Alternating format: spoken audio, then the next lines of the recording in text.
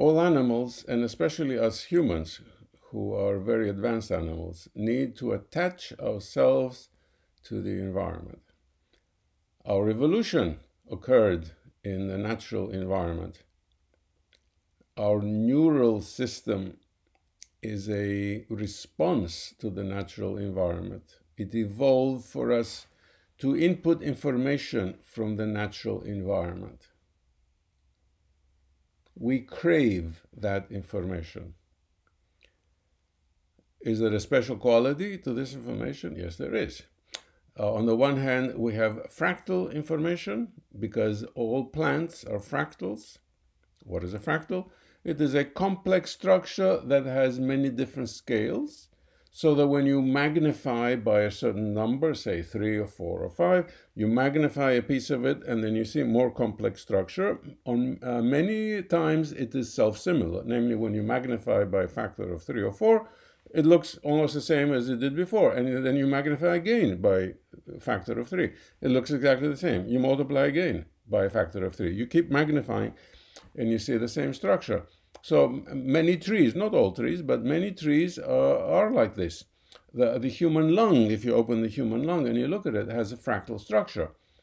Uh, so um, we, uh, we are tuned to observe and get information from fractal structure. And if we see something that's not fractals, we immediately and unconsciously uh, notice it because it could be a threat because it doesn't belong in nature. Okay, so it is threatening. What does threatening mean? It means that unconsciously, without our being aware of it, we have anxiety. The anxiety is a trigger to keep us from being bitten or eaten or, or uh, or killed in some way in our, uh, in our ancestral environment. The stress that's triggered is a positive thing because it kept our ancestors from dying out. However, now it is a burden because in our uh, modern built environment, almost everything is causing us stress. The built environment itself, the geometry of the built environment has become non-fractal. In the beginning of the 20th century, some people declare that the future of architecture has to be uh, uh, non-fractal and they abolished all fractal qualities. So that since then, we live in a non-fractal environment. How does that affect us, uh, our health? It affects our health very badly because it causes stress and continual stress on the human body gives rise to all sorts of terrible diseases, uh, not only uh, depression, anxiety, but physical diseases. So um, my friends and I are writing papers uh, to document the, the loss of fractality in the built environment. And at the same time, we are going through the literature as best as we can. We're not doctors, uh, but we have some neuroscientists working with us. And we are looking at medical data experiments that show how how uh, how terrible and, and negative the effects are of a non-fractal environment on human health in the long term. So this, this information is, is very recent, say last 10 years or so. It was not known at the beginning of the 20th century when everyone uh, stupidly but optimistically uh, adopted the new design styles, which are anti-fractal. And we are living with the consequences now, and nobody wants to admit it. So, going further from the fractals, we have also uh, um, deep symmetry. Now, you can have a fractal that's not symmetrical symmetry is something else that we grew up with because the, the way the brain works to, to input information uh, um, codifies the information if there are symmetries. Symmetries means that we don't have to, to, um, to give every piece of information, every pixel on a screen, we don't have to code it separately because symmetry means that there is redundancy. Okay, if you have a, a mirror symmetry, one half is exactly the same as the other half. So you only need to, to specify one half. If there is rotational symmetry, you take the piece that's rotating, that's going around, one piece, well, you specify that, and then that goes around. You don't have to, to, uh, to specify everything. So this is a compression of information, which means, what does it mean for us? Again, it's our survival. Compression of information that we have to uh, interpret means that we do it much faster. Much faster is a survival advantage because when we are faced with a danger and we can react in a certain time. If we can, if it takes us 10 times uh, the, the amount of time to react to that information, then we may get eaten. So, so this, is, this was an advantage. Okay, so uh, mathematically, and this is a mathematical uh, analysis, we have the, the essential part of, of fractal structure in our environment on the one hand, and on the other hand, we have subsymmetries or levels of scale in Christopher Alexander's uh, terminology. Uh, the levels of scale and, and subsymmetries, local symmetries, uh, which means that we don't have just an overall symmetry, a building that's perfectly symmetrical. No, that's, that's the least important we have, say, uh, 1,000 or 1 million small asymmetries on all different scales. So this is where the, the fractal part of a structure blends with the symmetry, the deep symmetry part. So you have symmetries on every different scale that link that scale together. Say, what's what's the scale? Say one meter. Things are happening on one meter that have symmetry in them. And then you have smaller scales. You have, say, 30 centimeters, 10 centimeters, 3 centimeters. On each one of those scales are separate symmetries that interlock and are multiple symmetries. They create a coherence and they create complexity. But the complexity is a, is a healing complexity because we perceive it as a regular. It is not a random complexity, like you throw something up in the air, it's a, it's a random pattern. No, uh, uh, the human mind is tuned to uh, interpret coherent complexity because that's what we uh, that's what we evolved uh, to to do uh, in, in, nature. So we look at nature and we see the coherent complexity, and we have a combination, a very beautiful mathematical combination of fractal structure, which has many different scales, plus deep symmetry, where symmetries are multiple symmetries are present on each one of those scales, and everything is cooperating. Now, uh, when you build something, how do you call the smaller scales? The smaller scales are ornament. Ornament is necessary to complete the fractal. The fractal, in order for the fractal to be healing, for us to be able to attach to the fractal, we have to attach to the smaller scale, which are the human scale. Scales on the size of the hand or of the fingers, okay? So I'm talking about uh, six inches, one inch, half an inch, quarter inch. Those are the, the, uh, the dimensions of ornament. In order to have a complete fractal, whether it is a perfect mathematical fractal or a statistical fractal, you need those scales. So that's traditionally where ornament comes in. I'm fully aware that in the beginning of the 20th century, a certain group of people banned ornament for very poor reasons, but it stuck, and today we have a total devastation of an ornamentless environment. However, our physiology begs for ornament so that we can connect to the built environment. As a result of this lack of starvation of ornament, we are going around and we cannot attach to the built environment. Is that uh, on purpose? Well, that's it's a separate question. Uh, how many people do you see going around and are glued to the smartphone? Because at least there's something happening on the smartphone. There's organized complexity. Uh, there are colors, there are symmetries uh, we and they ignore the, uh, uh, the the built environment. Is that healthy for us? Well, no, not really. It's uh, it's, it's not a good uh, it's not a good development. But uh, th- that is because the world, or at least the industrialized world, has adopted the, the poverty of a, of an ornamentless environment for no good reason. It's just some some dogma that that, that was adopted and fiercely defended in architecture schools. Uh, again, no good reason has ever been given uh, for this, and there are, are, are uh, there's a, a, vast number of good reasons against it. Uh, these are the medical reasons uh, that uh, that that show that an attachment, a visceral and emotional attachment to the built environment, is healthy for us because it reduces stress it boosts our immune system. For that to occur, we need the uh, physical structure to occur in our immediate built environment that we can touch, that we can see, that's on these scales again. The human scales, the hand, the fingers, uh, the, the, arm. These are the human scales. This, these are the scales of ornament.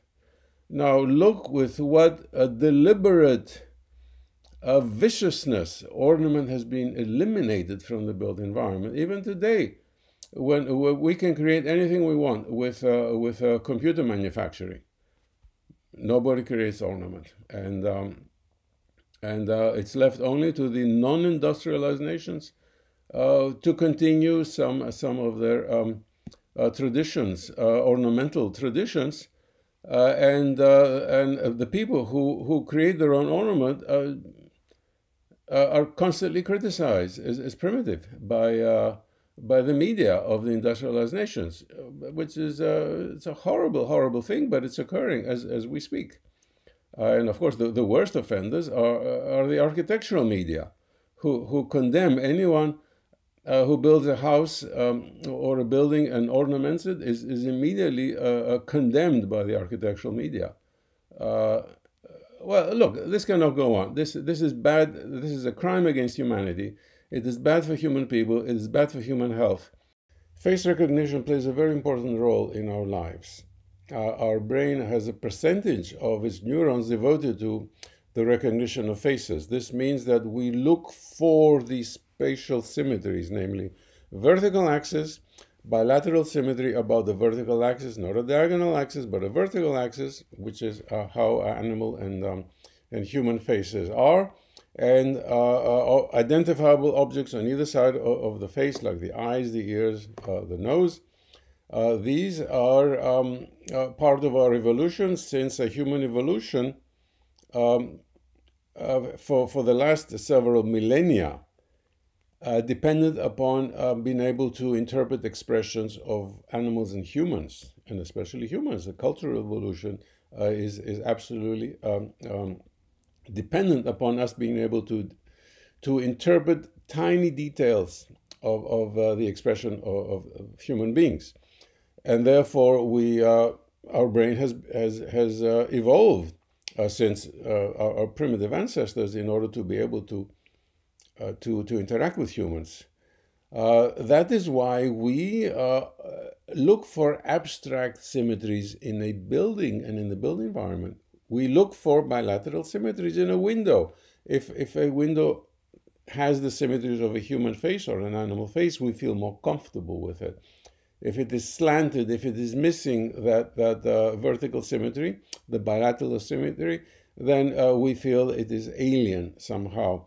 Uh, some very famous buildings have have a, a face-like qualities. Uh, the the the, um, uh, the, the the opening is say the entrance looks like a mouth, and then we have uh, something windows or doors situated bilaterally symmetric uh, positions uh, around that. So uh, oh, it's an abstract type of face. Uh, and this makes sense because uh, it immediately links to us. We attach visually to, to this kind of, um, Uh, of building. Now, my colleague Ann Sussman has written extensively on how uh, uh, the human brain is tuned to recognize facial type symmetries on buildings and we're attracted uh, to a building that, that has these, even if they're very abstract. And on the other hand, we, we are either repelled or totally uninterested in, in a building that lacks these symmetries. For example, a blank wall, now we have the VAS, the visual attention software, that we can do an instant analysis. And we see that uh, uh, in a minimalist uh, facade, a minimalist facade is invisible to the human brain we don't look at it. It might as well not be there. Even if it has won a Pritzker Prize, it doesn't exist.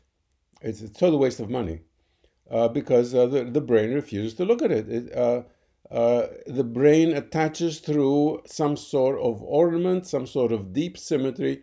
We look at a, a, a more traditional type of facade, and if it's ornamented, we attach to the ornament. If the facade has the bilateral symmetries corresponding to a human face, then, then we attach to that uh, emotionally, and uh, that building exists for us in our universe, in our worldview. If we have to experience it, if we if we walk by it, and if we uh, if we have to uh, enter it and use it, uh, somehow it exists for us, whereas the, the minimalism that doesn't exist. Okay, so why spend a lot of money to, to build minimalist buildings? Well, why indeed? Uh, people do it, and uh, uh, but there are so people do it doesn't mean that it's good. Uh, it's it's it's it's bad for the uh, for the neurological connection because it cuts neurological connection with the environment. At the other extreme is the randomness. Uh, randomness uh, does not uh, uh, does not enable neurological connection because we get anxious when we are um, uh, when we try to interpret a random pattern. I'm ashamed to say that the architectural profession has, for several decades now, um, intentionally created random patterns, and those create anxiety because the brain is constantly trying to, to uh, order those using symmetries, fractal scaling and, and bilateral symmetries, translational symmetries, and it keeps working. The brain keeps working constantly because uh, we are constantly inputting information from the environment that affects our survival, okay? This is the, the, the, the, the primordial human body that has not changed for a million years. We still have that uh, uh constant information processing. And if we cannot make sense of the information because it is intentionally random, then uh, we, we wind up with stress. Now, just, uh, just one or two days ago, I saw a, a, a, a swimming pool in Germany where uh, some so-called artist had been asked to make a whole wall, you know, beautiful, huge wall, a tile pattern. Well, this, this so-called artist made a random tile pattern. I guess uh, he uh, worked overtime to try to make this as anxiety uh, inducing as possible. Uh, so people who have to use the swimming pool oh, suffer anxiety. Uh, unless they, they don't look uh, they look away from it, you know. But it's it's one giant uh, uh, wall. So why do this? Okay, this is supposed to be fashionable. It creates anxiety, and, and and this person was paid, and, and the people actually approved it. the whole system is crazy uh, an artist who creates anxiety intentionally because uh, uh, he, in this case, it's a he, uh, thinks that it's cute and it's fashionable to do so, and then people who pay to have this built, uh, instead of be, uh, being sued or put in jail for wasting for wasting money that was supposed to be used for the renovation of the pool, well, this is what our society is has come to because of total ignorance of how the built environment, how the design of the built environment and the mathematics of the built environment affects human health. That's it. And no, uh, and although anything, everything I'm telling you is not new, everything I'm telling you has has been around. And if you're interested, you can read about it on the internet. Uh, those who make decisions just don't care to learn about uh, these latest discoveries about human health. And so we continue to have a uh, inhuman environment, alienating environment that cause anxiety and stress. Okay, what do we do? Well, uh, you don't have to do anything more than, than read Christopher Alexander's uh, The Nature of Order, where he gives a detailed description of how to create uh, harmonious and coherent uh, geometries that, that, we, uh, that we can attach to and attune to. Uh, so he has he presents the 15 fundamental properties. I've given a whole talk uh, on 15 geometrical properties, we, they're available. Okay, you buy the book or you read several essays, including one by me, uh, free on the internet. You can use those today to design uh, environments that have a coherence that you can attach to and that if you build something that has these properties, then, then it's a healing environment. It's good for human health. We should not be building um, uh, Uh, structures that intentionally violate this. It's